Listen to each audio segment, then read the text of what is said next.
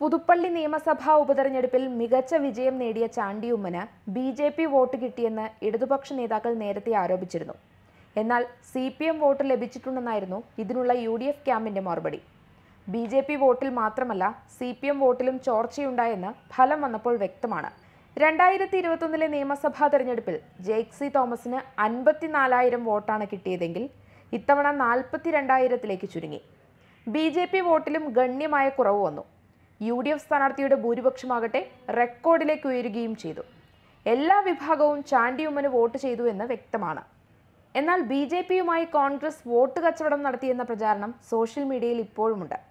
ചാണ്ടിയുമ്മൻ കഴിഞ്ഞ ദിവസം തിരുവനന്തപുരത്ത് നടത്തിയ ക്ഷേത്ര ദർശന ചിത്രങ്ങളും ഇതിനുപയോഗിച്ചു.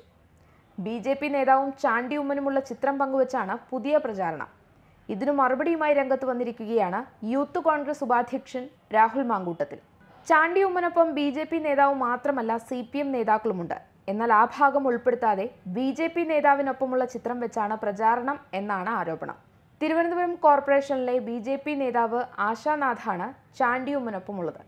കൂടാതെ സി പി എമ്മിന്റെ ജില്ലാ പഞ്ചായത്ത് അംഗം സൂര്യ എസ് പ്രേമും അദ്ദേഹത്തോടൊപ്പമുള്ള കാര്യം രാഹുൽ ചൂണ്ടിക്കാട്ടുന്നു. രാഹുൽ മാങ്കൂട്ടത്തിൽ ഈ ചിത്രങ്ങൾ പങ്കുവച്ച് ഫേസ്ബുക്ക് പേജിൽ കുറിച്ച വാക്കുകൾ ഇങ്ങനെയാണ്. ചാണ്ടി ഉമ്മനുമൊത്ത് ദർശനം നടത്തുന്ന ഈ വനിതയെ നിങ്ങൾക്കറിയില്ലേ?